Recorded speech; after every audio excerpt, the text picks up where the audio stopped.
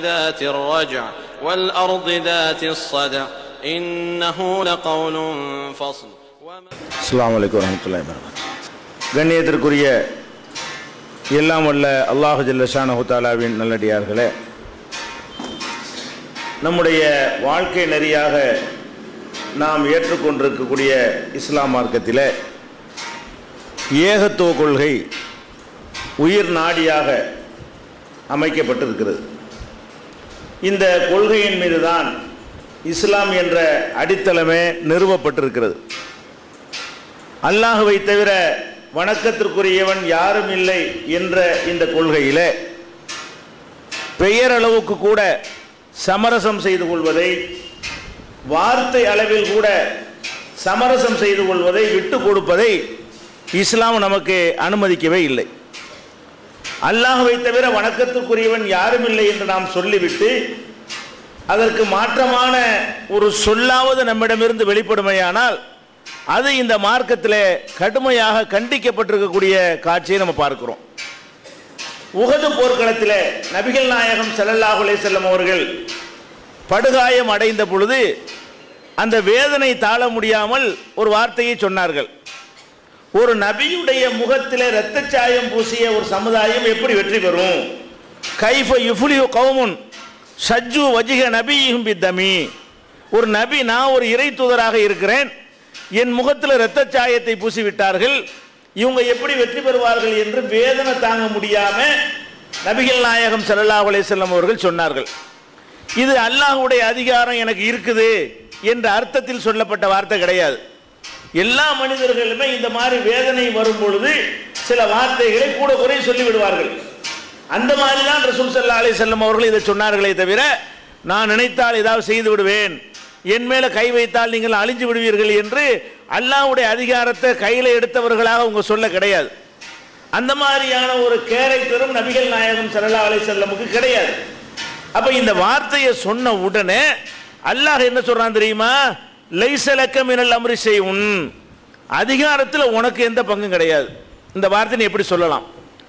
உன்னைய காயப்படுத்தியவர்கள் வெற்றி பெற மாட்டார்கள் என்று சொன்னா அப்போ உங்களை காயப்படுத்துறது தான் வெற்றி தோல்விக்கு அளவுகோலா உங்களை யாராவது காயப்படுத்தினா அவங்க தோத்து தான் ஆகணுமா? அப்போ முடிவு செய்கிற நான் இல்லையா?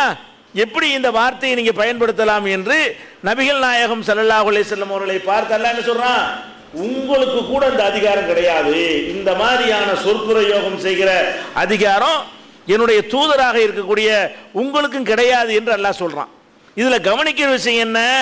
அதிகாரம் கிடையாதுன்னு எல்லாருக்கும் தெரியும். தௌஹீதவாதிகள் எல்லாருக்குமே தெரியும். அல்லாஹை தவிர யாருக்கு அதிகாரம் கிடையாதுங்கிறது. ஆனால் ஒரு பெயரளவுக்கு ஒரு வார்த்தை அளவுக்கு ஒரு வருத்தப்பட்டு கோவப்பட்டு வேதனையில் ஒரு சொல்லை சொன்னால் கூட அது அந்த அர்த்தத்தில் சொல்லப்படாவிட்டால் கூட அல்லாவுக்கு பிடிக்கல. இந்த விட்டு தர்றது இந்த காம்ப்ரமைஸ் பண்ணி கொள்வது அல்லாவுக்கு பிடிக்கல என்பதை இந்த சொல் மூலமாக அல்லாஹ் நமக்கு சுட்டி காட்டுகிறான் நபிகள் நாயகம் சல்லா அலை செல்லம் அவர்கள் வாழுகின்ற காலத்தில் சில காரியங்களை நபிகள் நாயகம் சல்லா அலை செல்லம் அவர்கள் மக்களுக்கு சொல்வார்கள். சொன்னபடி அது நடந்துடும் சில காரியங்களை சொல்லுவாங்க அது மாதிரி நடந்துடும் அப்ப சஹாபாக்கள் வந்து என்ன செய்வாங்க? மாஷா அல்லாஹு வசித்த அல்லாவும் நீங்களும் நினைச்சபடி நடந்துருச்சுமாங்க நபிகள் நாயகம் ஸல்லல்லாஹு செல்லம் ஒன்ற சொல்லுவாங்க. அதன் சொல்லுவாங்கன்னு அவங்களா சொல்றது இல்லை வஹீல. அல்லாஹ் அறிவித்து கொடுத்து சில செய்திகளை சொல்வார்கள். உடனே அது நிறைவேறிவிடும் இல்லையா? அப்ப சஹாபாக்கள் வந்து ரசூல் ஸல்லல்லாஹு செல்லம் அவர்களை பார்த்து சொல்லுவாங்க மாஷா அல்லாஹு வசித்த அல்லாஹ் நினைத்ததும் நடந்து விட்டது நீங்க நினைச்சபடி நடந்து விட்டது இதை கேட்டவுடனே ரசூல் சல்லா அலி செல்லம் அவர்கள் கடுமையாக கோபம் அடைந்து இப்படி சொல்லக்கூடாது. மாஷா அல்லாஹ் மட்டும்தான் சொல்லணும். அல்லாஹ் நினைத்தது நடந்ததுன்னு சொல்லணுமே தவிர நடந்த பிறகுதான் நம்ம நினைக்க முடியுமே தவிர நடக்கிறதுக்கு முன்னாடி நம்ம நினைக்க முடியாது. இனிமேல் இந்த மாதிரி வார்த்தையை கூட நீங்க சொல்லாதீங்க. இப்ப சஹாபாக்கள் சொன்னாங்களே அல்லாவையும் ரசூலையும் சமமா வச்சா சொன்னாங்க. அந்த அர்த்தத்திலே அவங்க சொல்லியிருப்பாங்க. அந்த மாதிரி அல்லாஹ் ரசூல் ஒன்று தான் ரசூல்லா என்ன நினைச்சா நடந்து போயிடும் அப்படிங்கிற பாடத்தையா ரசூல் சல்லா அலிஸ்லாம் சகாபாக்கள் கற்றுக் கொடுத்துருந்தாங்க? இல்ல. ஆனா வாய் வார்த்தையில் அவர் வரக்கூடாது. அப்படி நீங்க நினைச்சு சொல்லாட்டா கூட அந்த வார்த்தை கூட எப்படி இருக்கக்கூடாது அல்லாவுக்கு இணை கற்பிக்கிற மாதிரி அல்லாவுடைய இடத்தை வேற ஆளுக்கு கொடுக்கிற மாதிரி ஒரு சொல் கூட வரக்கூடாது என்பதற்கு தான் இந்த வார்த்தையை சொன்ன உடனே மாஷா அல்லாஹ் சித்தன்னு சொல்லாது. மாஷா அல்லாஹ் மட்டும் சொல்லு. அல்லாஹ் நினைத்தபடி நடந்துச்சுன்னு தான் சொல்லணும் என்று நபிகள் நாயகம் ஸல்லல்லாஹு அலைஹி அவர்கள் கண்டிக்கிறத நம்ம பார்க்கிறோம். அதே மாதிரி சில க சத்தியங்கள் செய்யக்கூடிய நேரத்தில் சஹாபாக்கள் என்ன சத்தியம் செய்வாங்க? அல்லாஹ் மேல சத்தியம் செய்வாங்க.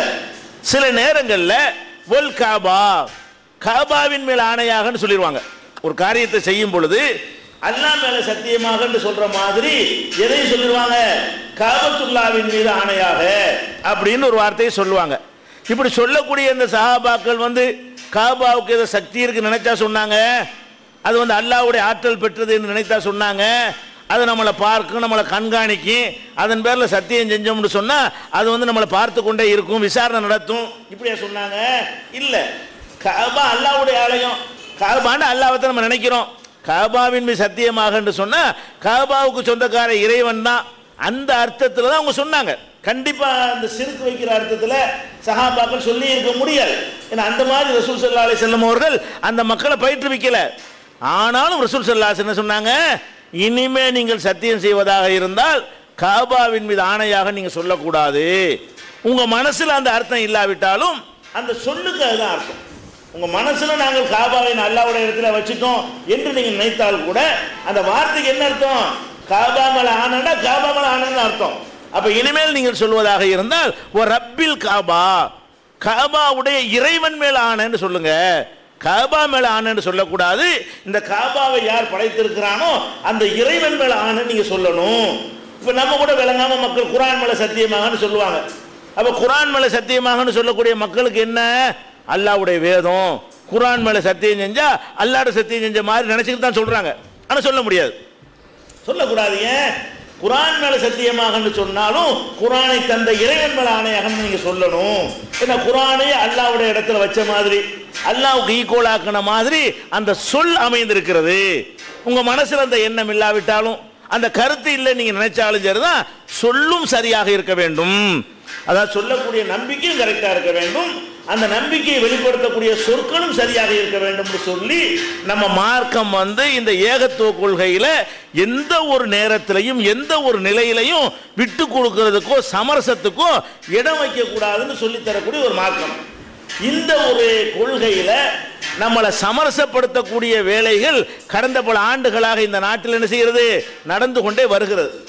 நம்மள அதை மு- அதை எதிர்த்து எப்படி நிற்கணுமோ அப்படி நிற்காமல் அதுக்கு எதிர்த்து எப்படி நம்ம கவுண்டர் கொடுக்கணுமோ அது மாதிரி கொடுக்காமல் எப்படி களம் இறங்கணுமோ அது மாதிரி இறங்காமல் மௌனமாக இருக்க இருக்க என்ன செய்கிறார்கள்? அந்த இணை கற்பிக்கக்கூடிய சொல்ல தௌஹீதுக்கு எதிரான ஒரு சொல்ல முஸ்லீமும் சொல்லித்தான் ஆகணும் என்று நிர்பந்தப்படுத்தக்கூடிய ஒரு நிலைமைக்கு இன்றைக்கு நம்மளை கொண்டு சென்று கொண்டிருக்கிறார்கள்.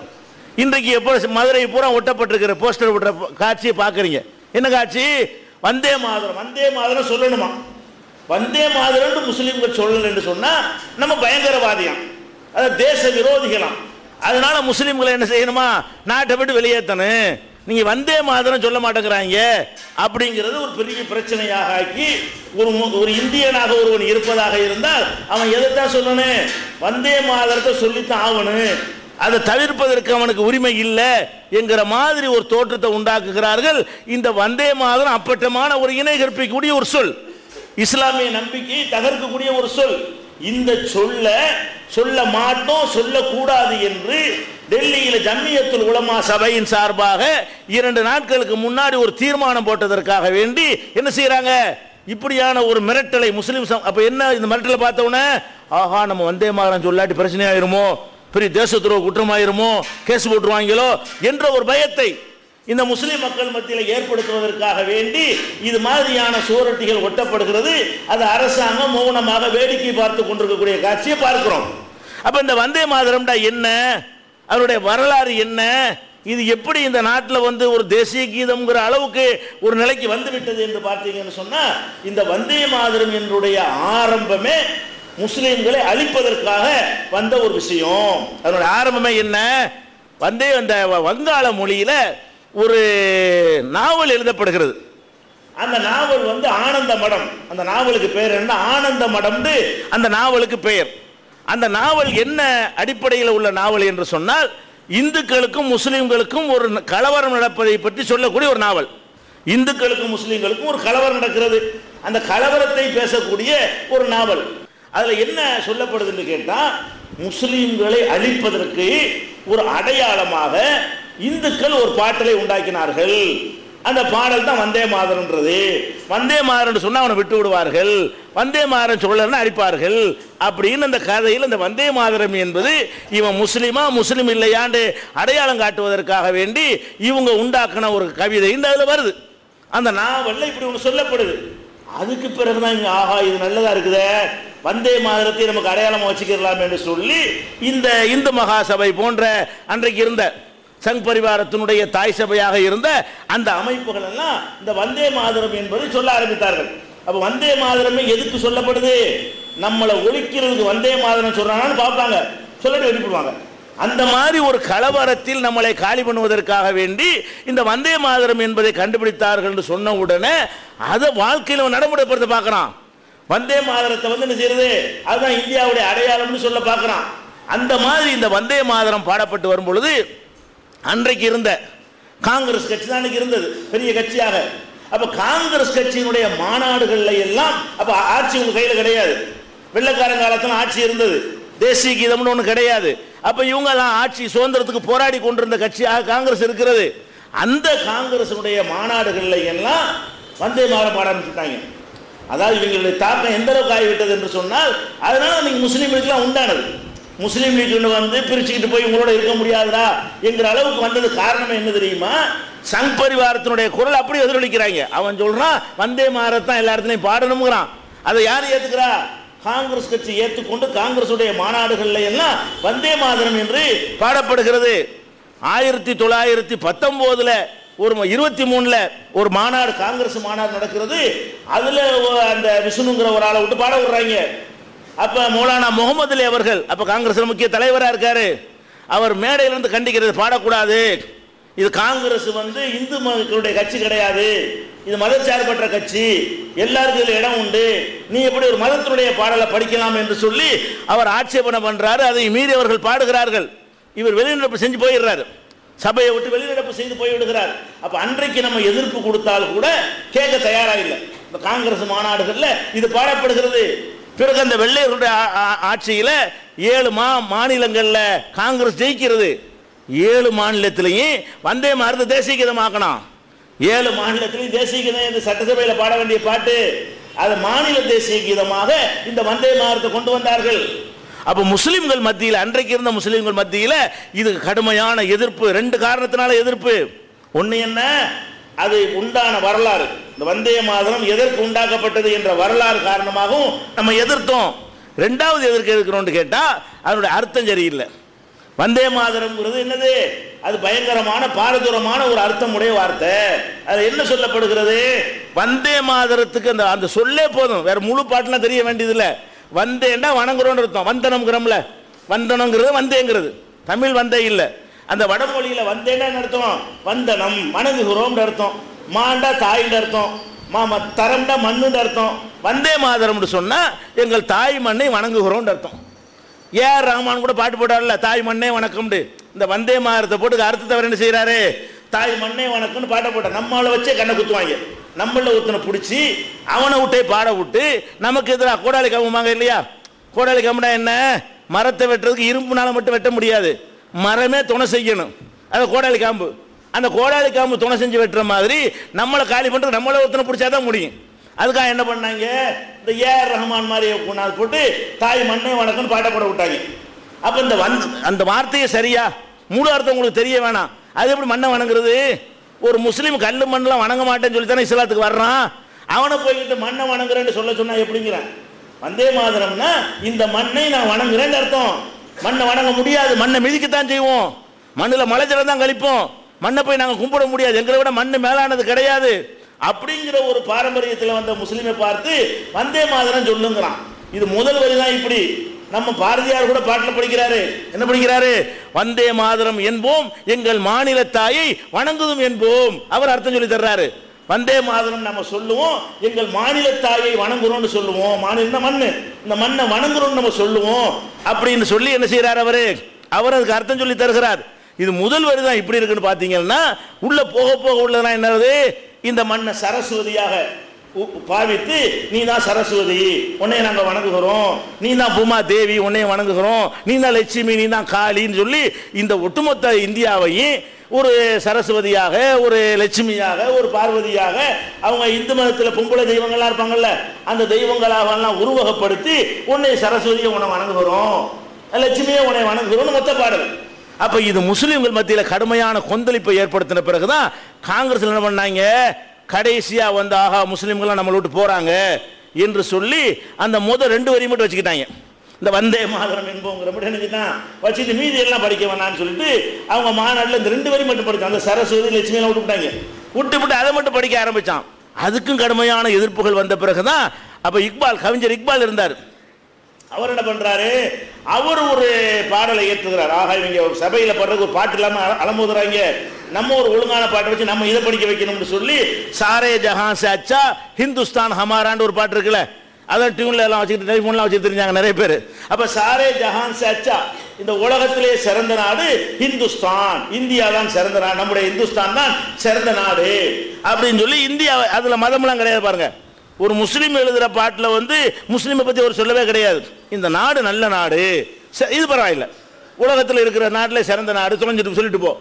அப்போ அந்த மாதிரியான ஒரு பாட்டை இவர் இயற்றின பிறகு தான் அப்போ சில மாநாடுகளில் வந்தே மாநிலத்தை போடுவான். முஸ்லீம் ஊர்களில் காங்கிரஸ் மாநாடு நடக்குன்னு வைங்க அதில் சாரஜாகம் போட ஆரம்பிச்சிருவான். அவன் இந்துக்கள் ஊரில் போட்டான்டா வந்தே மாதிரமா அதை வந்து யூனிஃபார்ம் உடைச்சார். இக்பால் இருந்த அந்த கவிதை எழுதின யூனிஃபார்மாக காங்கிரஸ்லேயே செஞ்சுச்சு தான் படிக்கணுன்றாங்கல்ல உன் ஊரில் நீ படிச்சுட்டு போட எங்கள் ஊரில் நாங்கள் படிக்க முடியாதுடான்னு சொல்லி முஸ்லீம்கள் இருக்கிற பகுதிகளில் எல்லாம் சாரே ஜஹான் அசே அச்சா ஹிந்துஸ்தான் ஹமாராங்கிற அந்த பாட்டு அது பிரபலமாக்கப்பட்டது. அது மக்கள் மத்தியில் சென்று கொண்டு இருந்தது எதனால நம்ம எதிர்த்தோம்? அதனுடைய வரலாறும் தப்பாக இருக்கிறது நம்மளை வலிக்கிறதுக்காக உண்டாக்கப்பட்ட ஒரு பாட்டு. ரெண்டாவது அதனுடைய அர்த்தம் நம்முடைய அடிப்படை ஈமானையே கு- நிலைகுலைய செய்யக்கூடியதாக இஸ்லாத்தை விட்டு வெளியேற்றக்கூடிய ஒரு பாரதூரமான ஒரு குற்றமாக இருக்கிற காரணத்தினால அதை தவிர்த்துட்டோம். அப்புறம் ஆயிரத்தி தொள்ளாயிரத்தி ஐம்பதுல தான் இந்த தேசிய கீதம் சுதந்திரமெல்லாம் அடைஞ்சி அங்கே வந்தே மாதிரம் இங்கே ஜ- சாரா ஜஹான் இப்படி பல விதமாக இருக்கக்கூடிய நேரத்தில் ஆயிரத்தி தொள்ளாயிரத்தி ஐம்பதுல தான் நாட்டுக்காக வேண்டி என்ன செய்கிறாங்க ஜனகண மனங்கிற அந்த ஒரு பாட்டை ரவீந்திரநாத் தாகூர் என்பவர் எழுதின அந்த பாட்டை வந்து இதுதான் இந்தியாவுடைய தேசிய கீதம் அப்படின்ட்டாங்க. அதில் எதையும் வணங்குற மாதிரிலாம் வரல. அந்த பாட்டு என்ன வருதுன்னு கேட்டால் பஞ்சாப் இந்து குஜராத் இந்த மாநிலங்கள்லாம் சொல்லி இதெல்லாம் எங்கள் நாடு? இது ஒன்று எல்லையை தான் சொல்லுகிறது. ஜனகண மனாதிநாயகிற பாட்டில் வந்து எல்லைகளை பற்றி நம்ம மாநிலங்களை பற்றி பேசக்கூடிய ஒரு பாட்டு இதில் எந்த மதமும் கிடையாது. இது ஒரு பொதுவாக இருக்கிறது அப்படின்னு தேசிய கீதம் உண்டாக்கியாச்சு. அப்போ ஒரு காலத்தில் இதை தேசிய கீதமாக ஆக்குறதுக்கு முயற்சி பண்ணி அதுக்கு பலவித திட்டங்கள்லாம் தீட்டி அன்றைக்கு இருந்த நம்முடைய முன்னோர்கள் வீரியமாக எதிர்த்தாங்க கடுமையாக எதிர்த்தாங்க. ஆனால் இடையில இந்த நாடு பிரிவினைக்கு பிறகு அப்படி சோர்ந்து போயிட்டாங்க. அதுக்கு பிறகு எதிர்க்கலை. அன்னைக்கு சுதந்திரத்துக்கு முன்னாடி எல்லாம் பாகிஸ்தான் எல்லாம் சேர்ந்திருந்த காலத்தில் நமக்கு வீரியம் ரொம்ப இருந்தது. அப்போ கடுமையான பதிலடி கொடுத்து எதிர்த்த காரணத்தினால அன்னைக்கு மூட்டை கட்டி வைக்கப்பட்டதை நாடு சுதந்திரம் அடைஞ்ச பேச முடியாமல் இருந்தோமா? பிரிவினவாதியில் ஒரு முத்திரை குத்தி விட்டாங்களா வாயை திறக்காம இருந்தோமா? அந்த கேப்பை பயன்படுத்திக்கிட்டு என்ன வந்தே மாதிரி தான் இது இந்தியாவுடைய தேசிய இந்த மாதிரியான ஒரு செட்டப்பை உண்டாக்கி விட்டாங்க. அப்போ இந்த சனிப்பரிவார பரிவார கூட்டங்கள்ல எல்லாம் அவங்க ஜனகணமான பாட மாட்டாங்க தேசபக்த வேஷம் போடுறாங்களே அவங்க எதை படிக்க மாட்டாங்க? ஜனகணமான பாடுவது கிடையாது. அவங்க வந்தே மாதிரி பாடுவார்கள். ஏன்? இதுல தான் இந்தியாவே இருக்கிறது. இந்தியா என்னங்கிற அடையாளமே இந்த தே வந்தே மாதரத்திலாம் விளங்குகிறது என்று சொல்லி இப்படியாக அந்த வந்தே மாதரத்தை தூக்கி பிடித்துக் கொண்டிருக்கிறார்கள். நல்லா விளங்கிக் கொள்ள வேண்டும். இந்த வந்தே மாதரத்தை படிச்சு தான் ஆகணும்ங்கிற வந்தே மாதரம் சொல்ல வேண்டிய அவசியம் கிடையாதுன்னு சொல்லி என்ன மாதிரி ஆக்கிவிட்டாங்கன்னு சொன்னா வந்தே மாதரம் தப்புன்னு சொன்னா கலைத்தருக்கும் தப்புன்னு நினைக்கிறான் போலீஸ் பெரிய அதிகாரியும் தப்புன்னு நினைக்கிறான் ஒரு மாநில முதலமைச்சருக்கும் தப்பா தெரிகிறது மந்திரிகளுக்கு தப்பா தெரிகிறது பெரிய படித்த பண்டிதர் அவன் சட்டத்தை படிக்க மாட்டேங்கிறான். எப்படி நான் திருப்பி திருப்பி இந்த பொய்களை சொல்லி சொல்லி நம்ம சும்மா உட்காந்துருந்தோமா வந்தே மாதரம் படிக்க சும்மா உட்காந்துருப்பாங்க அப்ப என்ன இந்த முஸ்லீம்லாம் பயங்கர தீவிரவாதியா இருக்காங்க. நாட்டுப்பட்டவங்களுக்கு இல்ல. வந்தே மாதரம் படிக்க மாட்டேங்கிறான். அதனால வெளிநாட்டுக்காரன் இவன். அப்படின்னு திருப்பி திருப்பி சொன்னாங்களா? நீங்க சும்மா அல்லா இடத்தில் வைக்காதவர்கள். நீங்களும் அல்லாவும் நினைத்தது நடந்தது என்று சொல்லும் பொழுது அந்த இடத்தில் நாங்கள் ரசூலை கூட வைக்காத ஒரு சமுதாயம். காபத்துள்ள ஆலயத்தை அல்லாவுடைய இடத்தில் வைக்காத ஒரு சமுதாயம். நீ மண்ணையும் கண்ணையும் அல்லாவோட எடுத்து வைக்க சொல்றியா? என்று கேட்டு கொதித்தெழுந்து கடுமையான எதிர்ப்பை பிரதி பதிவு செய்யவில்லை என்று சொன்னால் நம்மளை அப்படியே மூளைச்செலவை செய்து நம்மளையும் சொல்ல வச்சு போடுவாங்க நம்மள நாலு பேர் கிடைக்குவான் அப்ப அவர்களை வைத்து இதை பாட வைத்து என்ன செய்வாங்க? ஜனகணமான முஸ்லீம் சிறுமி பாடினால் பள்ளிக்கூடோட வச்சுக்கிட்டு அதை போட்டு படம் போட்டு விடுறாங்க அப்ப இந்த வந்தே மாதரம் என்கிற அந்த பாடல் இருக்கிறது அது ஆரம்பத்திலிருந்து கடைசி வரைக்கும் இஸ்லாத்தினுடைய கொள்கையை குழி தோண்டி புதைத்து பல தெய்வ கொள்கையை பிரச்சாரம் செய்வதற்குரிய ஒரு பாடல். அது எப்படி ஒரு நாட்டில் மதச்சார்பற்ற ஒரு நாட்டினுடைய தேசிய இருக்க முடியும்? ஒரு மதச்சார்பற்ற நாட்டில் அதை படிக்கிறது வந்து எப்படி ஒரு தேசபக்திக்கு அளவுகோலா கொள்ள முடியும்? ஒவ்வொருத்தரும் அவங்களுடைய மதத்தை பின்பற்றுவதற்கு உரிமை இருக்குன்னு அரசியல் சாசனம் சொல்லுத. நீ உரிமையை பறிக்கிறிய இப்ப. இதை நீ சட்டம் ஆக்கினா கூட தூக்கி போட்டு மிதிப்போம். இப்ப சட்டம் கிடையாது. நீ சட்டமா கொண்டு வந்தே மாதம் பாடணுண்டு அப்ப கூட எங்க காலை கொண்டாங்க மிதிச்சிருவோம். ஏன்? எங்களுடைய அரசியல் சாசனம் தருகிற உரிமையை பறிக்க உனக்கு ரைட்டு கிடையாது. எங்க மார்க்கத்தை விட சொல்வதற்கு உனக்கு ரைட்டு கிடையாது. கல்லை மண்ணை வணங்கு என்று எங்களுக்கு உத்தரவு போடுவதற்கு உனக்கு ரைட்டு கிடையாது. என்று சொல்லி எகிரி நின்று அடித்தால் தான் இந்த மாதிரியான பேச்சுக்களுக்கு என்ன செய்ய எவ்வளவு தைரியமாக வந்தே மாதம் பாட காங்கிரஸ்காரன் இன்னும் புத்தி வரல. சிதம்பரம் அந்த மாநாட்டில் கலந்துக்கிட்டாரு. யாரு? நம்ம மத்திய உள்துறை மந்திரியா இருக்கக்கூடிய நம்ம சிதம்பரம் அந்த தீர்மானம் போட்டாங்கல்ல? வந்தே மாதரம் பாட மாட்டோண்டு உலமாக்கல் சபையில். அதில் அவர் ஒரு ஆளை கெஸ்டா கூப்பிட்டுருக்குறாங்க. அவர் கலந்து கொண்டார். அவர் ராஜினாமா பண்ணணுங்கிறான் சரி இந்த என்ன பண்ணணும் ஏன்டா என்ன தப்புல கேட்கணும் எனக்கு தெரியாது நான் பாருங்க. ஒரு மா ஒரு ஒரு நாட்டினுடைய உள்துறை மந்திரி சொல்கிறான் அப்போ தெரிஞ்சுதான் போக மாட்டேன்னு அர்த்தம். அவன் கூட என்ன விளங்கி வச்சிருக்கான்னா வந்தே மரம் சொல்லித்தான் ஆகணும்னு விளங்கி வச்சிருக்கான் எனக்கு தீர்மானம் போட்டு தெரியாது. சொல்லியிருந்தா போயிருக்க மாட்டேன். என்று பதில் சொல்றவங்க திருந்தலவங்க காங்கிரஸ்கார அன்னைக்கு உள்ள அந்த புத்தி உள்ள இருந்துச்சுல திருந்தின மாதிரி தெரியல. இவனா முதல்ல போய் வாங்கி அடிச்சிருந்தாண்டா உண்மை தெரிஞ்சிருக்கும். என்ன செய்யணும் ஆமாடா கலந்துக்கிறது தானே செஞ்சேன். எந்த ரூல்லடா வந்த மாதிரி சொல்லணும் இருக்கிறது? எந்த சட்டப்படி அதை நான் சொல்லணும்? அது சொல்வது கடமை நீ எப்படி சொல்லுவேன் அப்படின்னு கேட்கணுமா இல்லையா? அவர் பயங்கரமான அறிக்கை விடுறாரு. எனக்கு தெரியாது. முத நாள் தீர்மானம் போட்டாங்க. எனக்கு யாரும் சொல்லலை. ரெண்டாவது நாள் தான் நான் கலந்துக்கிட்டேன். எனக்கு தெரிஞ்சிருந்தா போயிருக்க மாட்டேன். இதா பதிலு. அப்படின்னா என்ன அர்த்தம்? இந்த வந்தே மாறு நீனு சொல்லுகிறார். அவர் இப்போ அவன் சொல்றது அப்படி ஆக்கிவிட்டாங்க உள்துறை மந்திரிக்கே சட்டம் தெரியாத ஆகிவிட்டாங்க திரும்ப திரும்ப அந்த கோயபட்ச தத்துவத்தை கையாண்டு இதை சொல்வதுதான் ஒரு நாட்டில் ஒரு சட்டங்கிற மாதிரி அவனே நம்ப வச்சுட்டாங்க பாருங்களேன். ஒரு உள்துறை மந்திரிக்கு விவரம் கிடையாது. எந்த ரூல்லடா பேசுறீங்க? அது எப்படா சரஸ்வதியை வணங்க சொல்லி முஸ்லீமுக்கு சொல்லுவீங்க? மண்ணை வணங்க சொல்லி எப்படா முஸ்லீமுக்கு சொல்லுவீங்கன்னு கேட்கணுமா இல்லையா? அப்படி கேட்டா தானே அவன் கரெக்டான ஒரு ஆள் இருக்கும் அப்ப சட்டத்தில் இல்லாத ஒன்றை செய்யிட்டு வற்புறுத்தலாம் இவனும் சேர்ந்து செய்யறான். நான் தெரியாம போயிட்டா மன்னிச்சுக்கிறேங்கிறான். அதெல்லாம் கிடையாது ராஜினாமா பண்ணலாம். அப்படி இப்படி தானே செய்வான். தெரியாம போயிட்டா மன்னிச்சுக்கன்னு பதில் பதில் சொன்னான்னா அது எப்படி தெரியாம போக ஒரு உள்துறை மந்திரி எல்லா உளவுத்துறையும் ஓங்கி ஓங்கிட்டு இருக்கிறது. எல்லா தகவலும் உடனே உனக்கு வந்துடும் ஐபி தகவல் வந்து ரா தகவல் வந்துடும் சிபிஐடி தகவல்லாம் உனக்கு தான் வரும். அப்போ அதெல்லாம் தெரியக்கூடிய இடத்துல இருந்து தெரியலன்னு என்ன பார்த்தோம்? அப்போ ராஜினாமா பண்ணுங்கிறான். நீ இப்படியா பதில் சொல்லணும்? டே அப்படித்தானே சொல்லுவாங்க. ஜனகணமான பாட மாட்டேன்னு சொன்னாங்களா? தேச விரோத மதம் பேசுனாங்களா? அவங்க சொன்ன சரிதான். அவங்க நிலையில இருந்து அதை நான் ஆதரிக்கிறேன். அது வந்து நான் கலந்து கொண்ட எந்த தப்பும் கிடையாது. சொல்லக்கூடிய திராணி யாருக்கு இல்லை? இந்திய அரசாங்கத்தினுடைய உயர் பதவியில் இருக்கக்கூடிய ஒரு மந்திரிக்கு கூட இல்லை. அப்ப யார் நின்று கத்துறது? இப்ப நம்ம தான் கத்தணும். நம்முடைய விஷயத்தை நம்ம தான் என்ன செய்யணும்? வந்தே மாதரத்தை ஒழிப்பும். போஸ்ட் அடிச்சு ஒட்டணும் தைரியமா.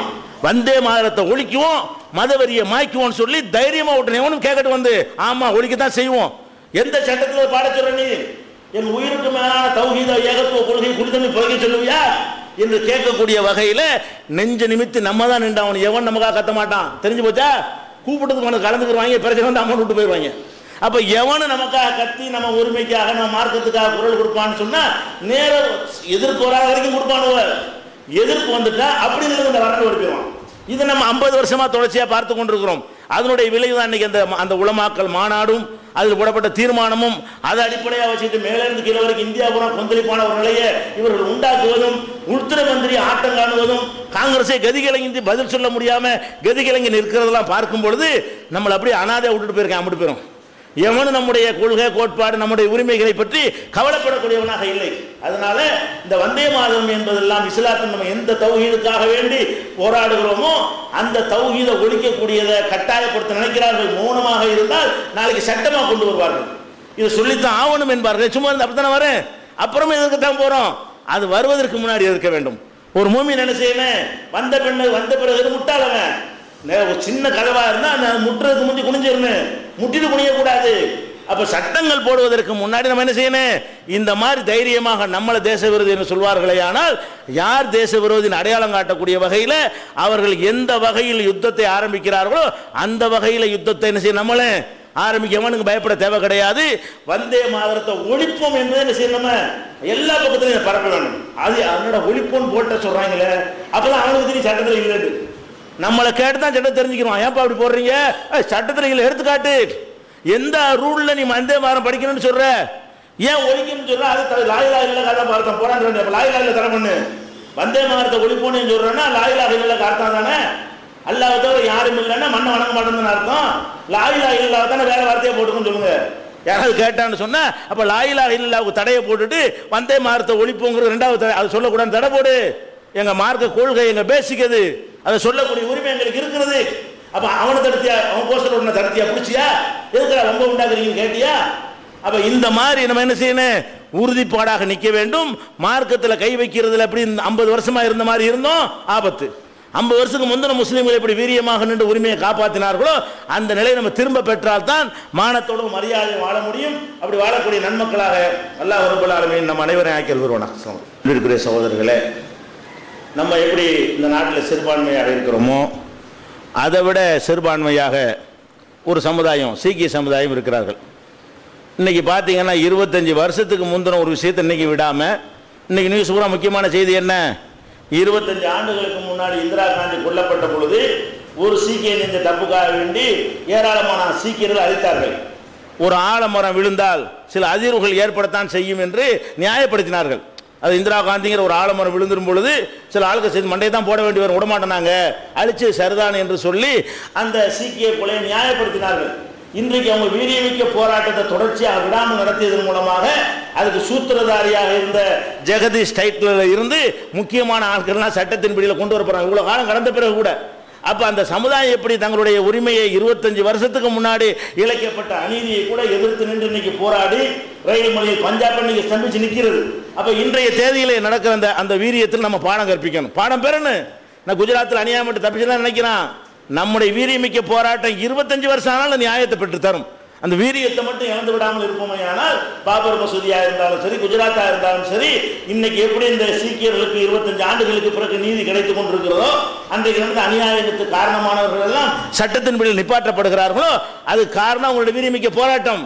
அந்த வீரிய குணத்தை இழக்காமல் இருக்கிற வரைக்கும் தான் நமக்கு நியாயம் கிடைக்கும். அதிலிருந்து நம்ம பாடம் பெற்று எந்த உரிமையாக இருந்தாலும் அதை அணைந்து விடாமல் அதே உத்வேகத்தோடு அதே வீரியத்தோடு பள்ளியாசல் இத்தனை வருஷம் ஆச்சு நமக்கு என்ன? நேத்தாயிடுச்சாங்க தொண்ணூத்தி ரெண்டு அடிச்சு இப்போ இப்ப கத்திரியன்னு சொல்லாம அவன் என்ன செய்யறான்? அதுக்கு முந்தைய இருபத்தஞ்சு வருஷமா கத்துறானா இல்லையா? இருபத்தஞ்சு வருஷத்துக்கு முந்தின எடுத்துட்டு அவன் கட்சிக்கு நியாயத்தை பெறும் பொழுது நம்மளும் என்ன செஞ்சிடக்கூடாது? அதை பல சடங்கு பாத்தியா இருக்கிறாங்க வருஷ பாத்தியா மாதிரி போச்சுன்னா சொல்லக்கூடாது. அப்ப அந்த வீரியமிக்க போராட்டத்தை விடாமல் தொடர்ந்து நடத்தக்கூடிய அந்த வீரியமிக்க சமுதாயமாக அல்லாஹ்